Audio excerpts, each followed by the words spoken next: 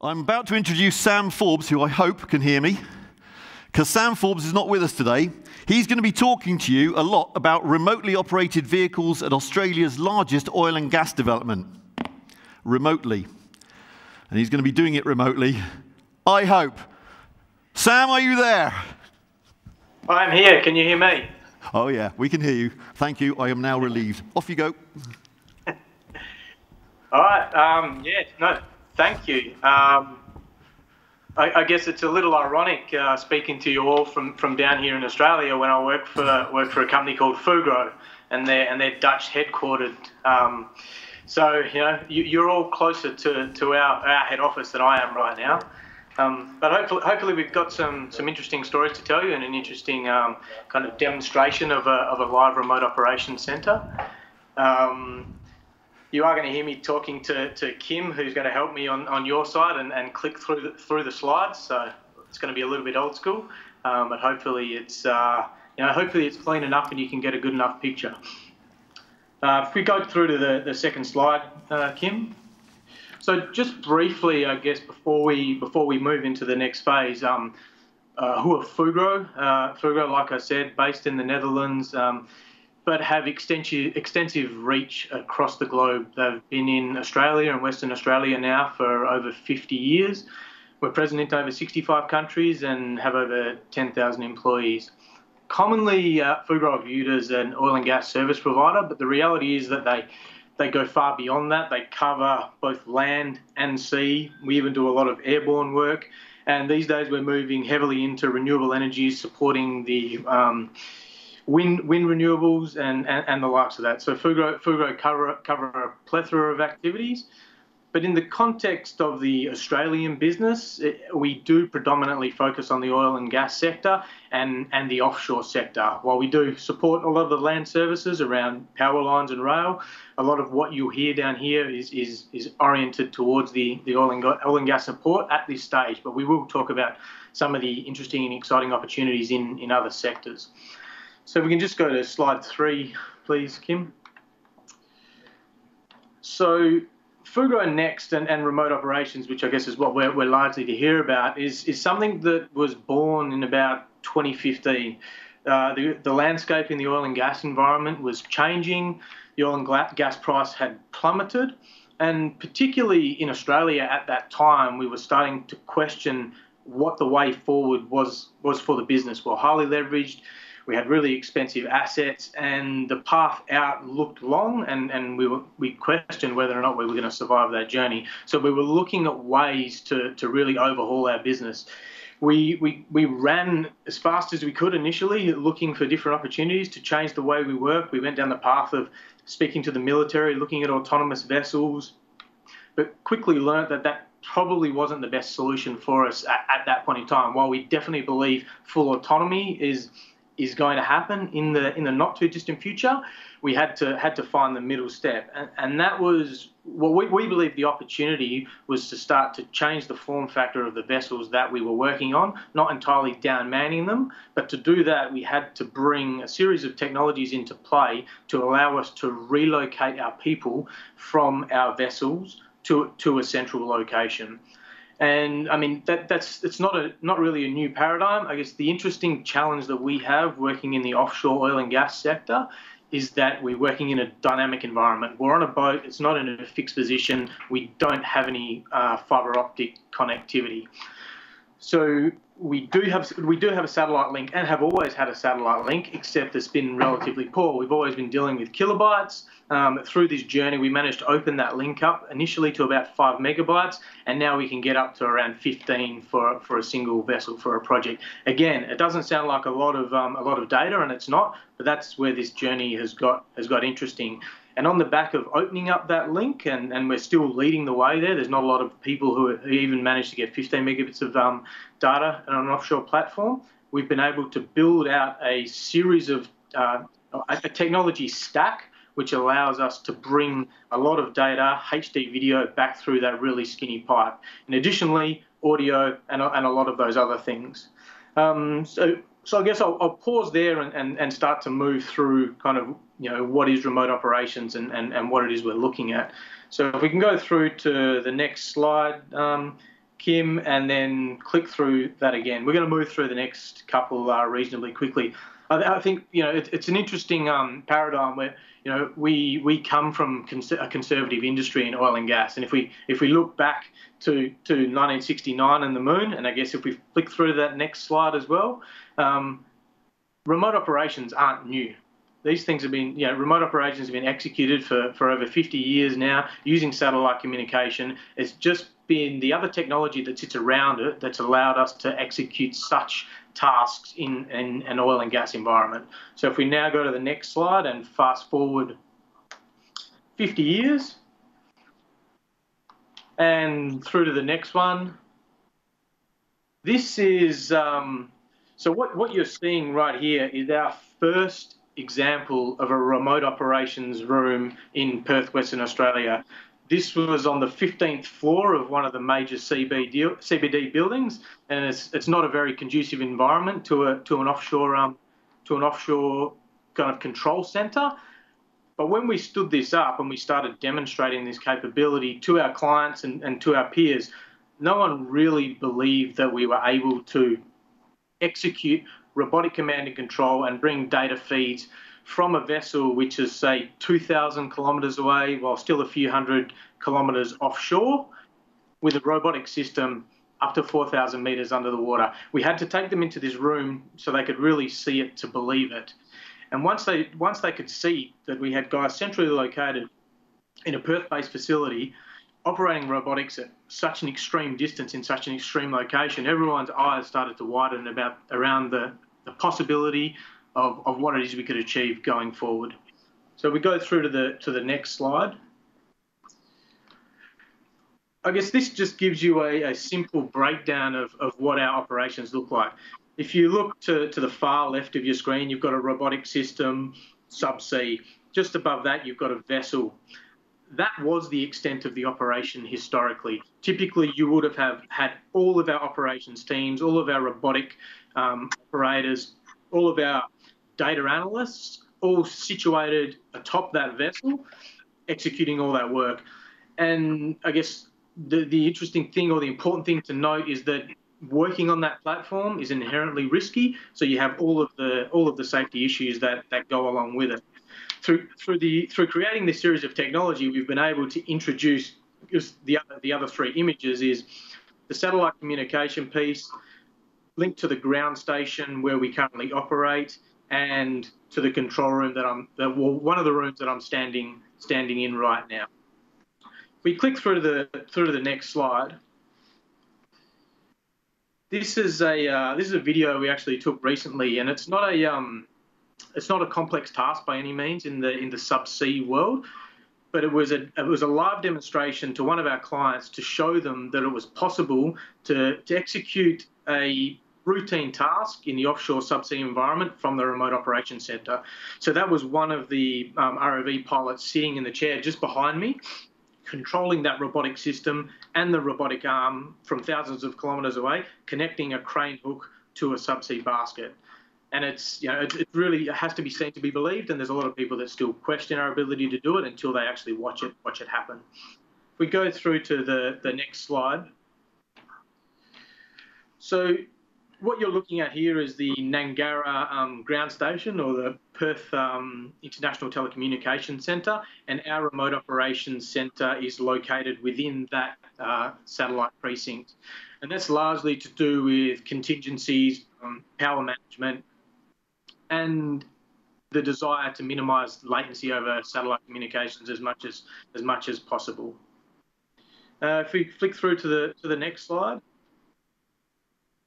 this is kind of um, the, the, the future state for us. You know, we, we the, the, journey to get to this point to control a subsea ROV system from a central location was largely um, focused on the back of one of our clients. So, so one of our major clients is Woodside.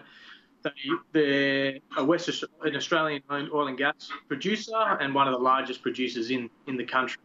We worked closely with them through this process. They enabled us to, to test technology on their field. We did, we did all the development work in house, but they enabled us to test it and prove it out um, very rapidly. Now that we're in a position where we're working day to day on a, on a Woodside Fields from this central location, we're now looking to what those next steps are. And what we're what we're doing is we're taking all of that technology and we're packaging it into a very small form factor. So if you look at that slide right now, the, the second image down, you can kind of see a, a, container with a small satellite dome on top of it. That has all of the technology that enables this operation packaged into a small form factor. And the really exciting thing is that and now allows us to put that technology into any location. So we no longer have to be working from solely a Fugro platform. We can be working from a third-party vessel. We can be working from a shore-based location. And as I get to we can start to look to work in locations beyond um, the oil and gas sector. It's worth probably considering uh, noting at this point that um, we, we started on this journey to really optimize and, and change the way we did work to, to improve our cost base. But there's been a whole bunch of knock-on effects that have been extremely significant. There's the, uh, the, the, the social factors, for example, and impact on our workforce. Bringing people back to a central location has, has enabled people to be closer to their families and change that dynamic of working in the oil and gas environment. Then we, then we shift to you know to the environmental factors, and as we start to downsize our assets, the volume of diesel that we're burning is significantly reduced, and we only see those positive impacts increasing over time as as we proliferate this in its entire strategy. And then we get to to the opportunity of opening up all the other activities that we can execute on the back of this platform. So we go to the next slide. We're just going to quickly give you a walk around this, this room. I'm just going to turn this down a bit so it doesn't run back through. Um, so what we're looking at here is one of the rooms within our remote operations centre. Unfortunately, as is the case with any live uh, live cross, you're likely to have issues, and you're seeing flashing blue screens. They should have been video feeds from a subsea operation, but unfortunately, the guys offshore have just turned the video feeds off, so we can't send you send you images of fish or otherwise. But like I said, so so in, in full operation, you would be see seeing four video feeds coming through on a sub seven megabit link. In addition to that, you'll also be seeing, for example, sonar data in the top left and right of the screen of, of the room. You'll be seeing vessel positioning data and then all of the metadata associated with that operation. On top of that, again, all on that 7 meg link, you will have all of the control data associated with the robotic systems. And that's one of, I guess, the, the, key, the key kind of um, pieces that, that has made this work is our ability to bring all that data through such a such a, a slim pipe. Um, I think one of the things that we learned early in the piece, or were, were told um, by the military and some of our end clients, was that as we move through this journey, one of the things that we really need to consider are the human factors. You're still going to have people working in a remote location. You need to ensure that the relationship between the guys in the central location and the guys offshore is strong and they're able to work together we tested um, different platforms, you know, the, the, typical communications platforms that we all see, but they weren't necessarily robust enough. They weren't giving us the, the feel that we would like. So we ended up building out our own communications platform on the back of satellite communications.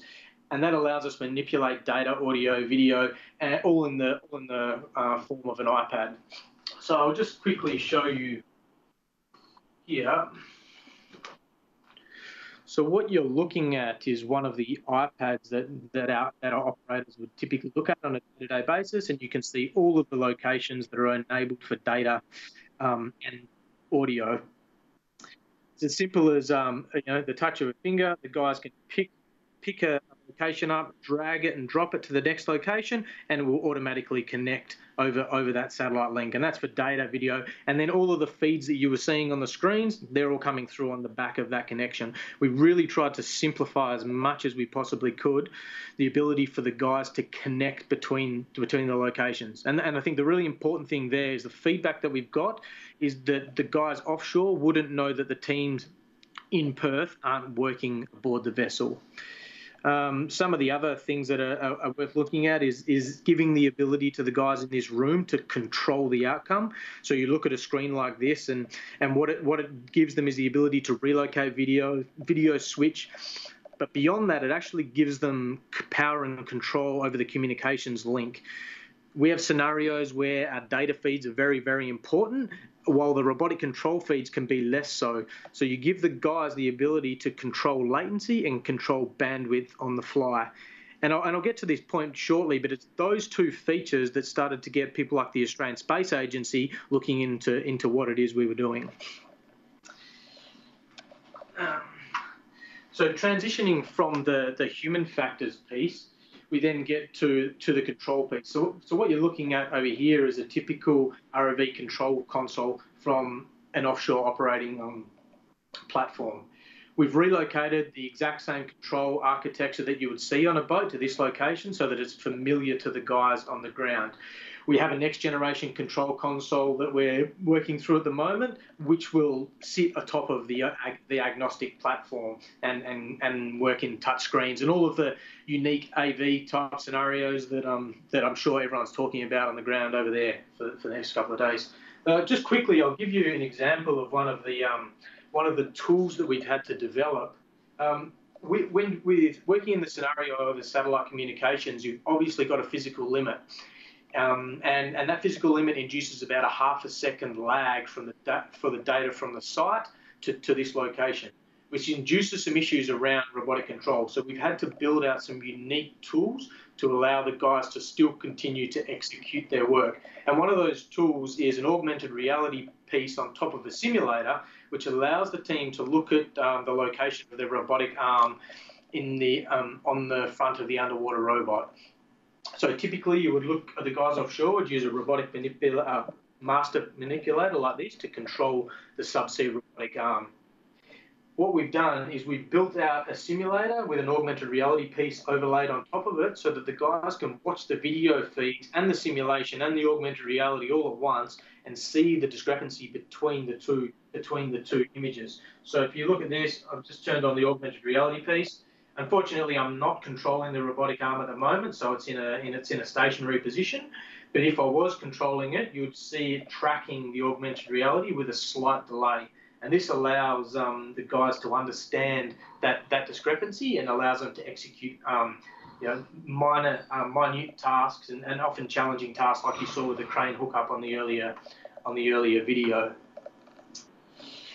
Um, so that's, I guess, a, a, really brief overview of, um, of, of, one of our rooms within the Remote Operations Centre.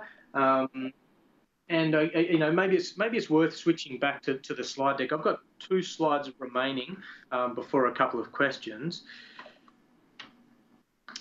But I think one of the exciting things is the uh, is the opportunities beyond oil and gas. We didn't set out to, to, to solve this problem. We really set out to solve a problem in the oil and gas sector in the offshore environment. But through the necessity to move fast um, and, and to get technology on the ground, we built an agnostic platform that allows us to uh, that allows us to integrate any robotic system on the back of it. So we actually don't care whether or not it's a, a truck, a drone, a terrestrial robot.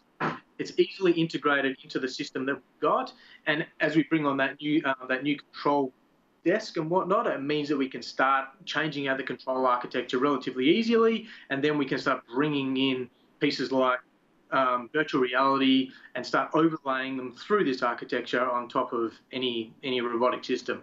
And that's, I guess, where we're really getting excited. There's there's some uh, opportunities in mining. There's some opportunities in in defence that are, you know, really be able to leverage this capability. And then there's also some opportunities in space. And it's, you know, it's interesting that you know the space industry in Australia has been has been the one that has kind of latched onto us um, I guess most recently, looking at our ability to work in latency affected environments and saying, well, what's the difference between what you do in an offshore subsea operating environment to working in orbit or, or working on the moon? And that takes us to, to my final slide.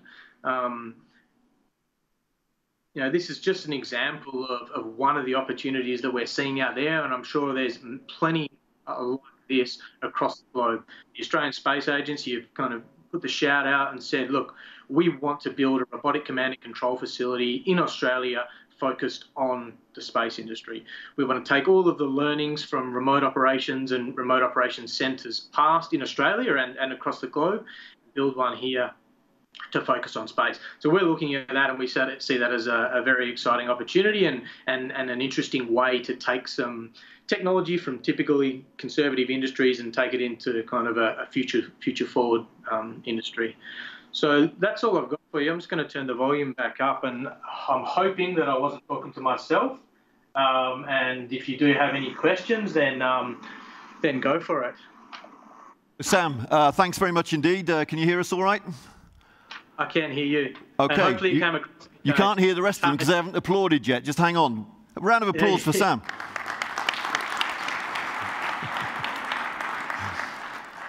Sam, thanks very much. A really, a really great start to uh, the Control Room Summit. You can, you can hold that honorary title of the first presentation to the first ever Control Room Summit.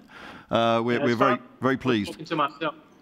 No, you're absolutely not. We've got a room full of very excited people who've got lots of questions that they want to ask, and I can probably take one or two. So, who wants to ask Sam something about remote operations?